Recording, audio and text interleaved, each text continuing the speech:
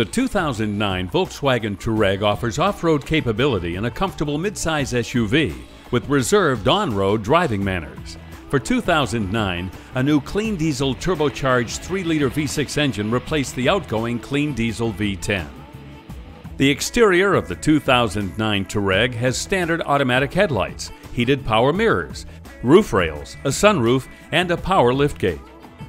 Inside the cabin of the 2009 Touareg, standard features include dual zone climate control, heated front seats, an auto dimming rear view mirror, and a 10 speaker stereo system with a 6 disc CD changer. Look for additional features including a navigation system and rear view camera.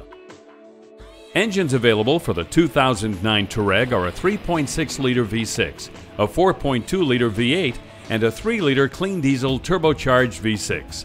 All models come equipped with a 6-speed automatic transmission and standard all-wheel drive.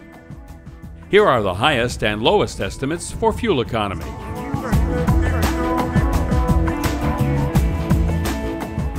The 2009 Volkswagen Touareg received a rating of 7.4 out of 10 from US News and World Report.